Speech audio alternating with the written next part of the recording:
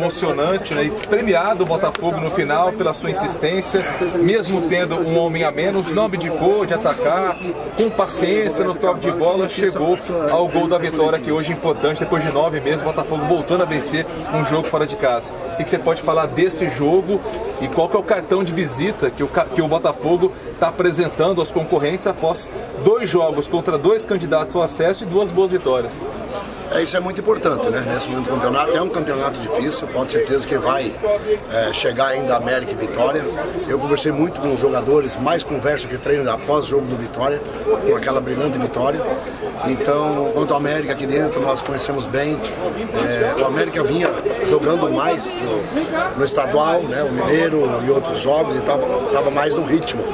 É, a gente sabe que é, quando trata-se de time que veio recentemente uma Série A, tem que ter respeito, principalmente fora de casa. E como nós não estávamos no meu comando buscando vitória fora de casa, me preocupava até então, porque uma hora ia chegar. E eu conversei muito com os jogadores na palestra. Na palestra nós conversamos que é, o América é um time que joga né, e deixa jogar. Agora nós não, nós vamos fazer o, o Botafogo da Série B, que é não deixar jogar e tentar jogar. Isso aconteceu, a marcação nossa foi mais assegurada, tivemos um volume de jogo, começamos bem a partida de novo, aí numa ligação direta mais que o América. É, a proposta do Júnior Adilto foi mais essa, no meu entender. Tivemos os dois zagueiros muito bem é, na marcação, os laterais do lado a mesma coisa. E o Jonathan, quando esteve em campo no primeiro tempo, estava firme na marcação. Então, é, acho que fomos premiados até depois com as mudanças e com a lesão do Saraiva, uma lesão que nos preocupa bastante, é mais séria.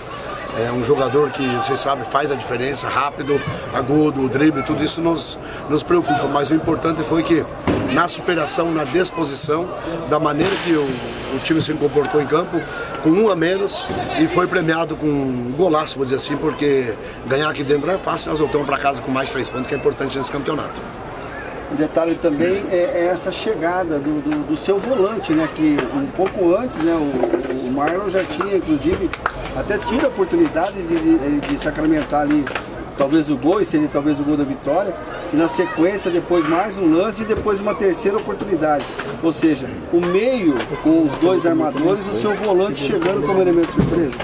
É, nós conversamos até no, no intervalo, é, a ideia de jogo talvez seria até o Murilo entrar junto com o Nados, para criar um pouco mais essa opção, porque o Marlon, a gente sabe que ele sai. Então, quando tinha o, o Jonathan né, no primeiro tempo, ele estava saindo.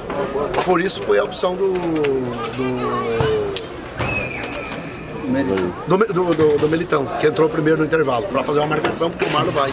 O Marlon se colocou bem, teve a primeira bola com a esquerda, deixou para fora, depois um domínio fugiu um pouco, e aí na terceira ele recolheu perfeito, que é o que ele sabe fazer. Então, é, a, a, a gente sabe que o time vai crescer, é, os, os, jogadores que estão entrando estão fazendo a diferença. Vocês lembram que quando o Saraiva entrou contra o Vitória, ele foi decisivo. Hoje, de novo, a entrada dos três, o Militão posicionou muito bem, o Murilo fez boas jogadas e o Renan fazendo as puxadas lá na frente, dando aquele facão, protegendo a bola. É, não criamos chances claras com eles, mas deu um volume melhor de jogo. Quer dizer, então você tem um plantel que quem entra faz o melhor e ajuda os companheiros que estão saindo. Então isso aí nos deixa feliz, tranquilo, porque agora passou o jogo da América e temos um São Bento pela frente.